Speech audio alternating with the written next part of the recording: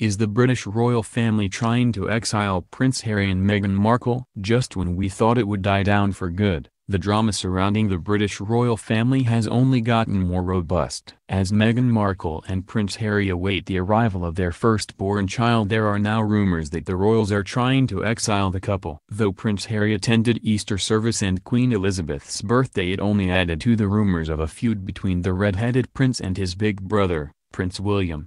Now rumors have swirled that the Duke and Duchess of Sussex are planning to live abroad in Africa starting in 2020. Though Buckingham Palace addressed the stories they didn't actually refute them. So is the British royal family trying to exile Prince Harry and Meghan Markle? Are Prince Harry and Meghan Markle moving to Africa? On Easter Sunday, 2019, a British newspaper reported that the Sussexes were planning a move to Africa for two or three years. They suggested that one of the continent's 19 Commonwealth states to become a new home for the family. Though Buckingham Palace released a statement saying, no decisions have been taken about future roles a senior aide did tell Harper's Bazaar that the article was silly speculation. Instead, it looks like Prince Harry and Meghan Markle might have an extended stint in one of the African Commonwealth countries for no more than six months. An insider told Harper's Bazaar. These discussions, which the couple are driving, are very much embryonic. Both the Duke and Duchess are keen to balance projects in Britain and overseas particularly countries in Africa. There are many exciting possibilities,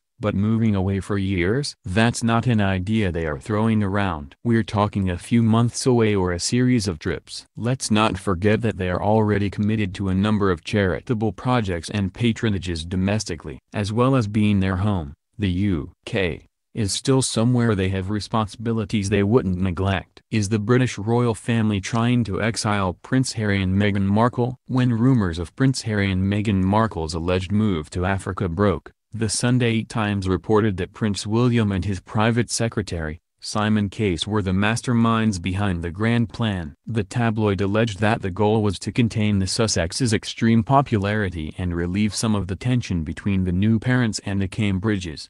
Though there has been some tension between Prince Harry and Prince William rumors of an exile are simply laughable. A Kensington Palace insider told The Times, Prince William has nothing to do with these plans. The Duke supports whatever the couple chooses to do. Meanwhile, a close friend of the Sussexes added, let's be clear about one thing, any decision the couple make about their future will be made by themselves for themselves. Harry and Meghan have always wanted to reach people on a global level and that is the only thing that's motivating them. Aside from the Queen and Prince Charles, they're not looking to other family members, or their teams, for guidance. Right now we're pretty sure Markle and Prince Harry are just focused on the safe and healthy arrival of their baby.